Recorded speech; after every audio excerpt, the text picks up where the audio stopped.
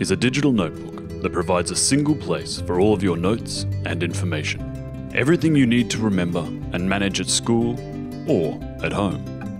In OneNote, your notebooks never run out of paper.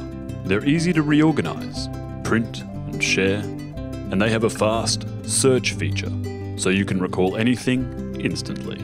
Best of all, you can store your notes online and use them from anywhere and on any device. Unlike many other applications, OneNote doesn't have a save button. That's because you don't have to save your work in OneNote like you do in other programs. As you work in your notebooks, OneNote automatically saves everything you do, no matter how small or large.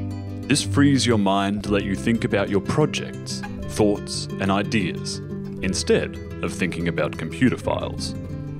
When you create a new notebook in OneNote, you'll be given a couple of options on where you want the notebook to be created.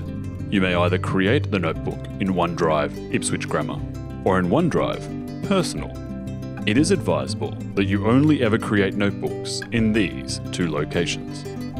If you create a notebook on the local storage of your current device, it will not be accessible at any other time and may result in significant data loss. Unfortunately, information services are often unable to recover notebooks saved incorrectly, so please take time to create them in either OneDrive Ipswich Grammar or OneDrive Personal. If you are creating a document in OneNote but do not have access to either OneDrive Ipswich Grammar or OneDrive Personal, please contact Information Services before you proceed. For more information on saving in OneNote, please refer to is.ipswichgrammar.com.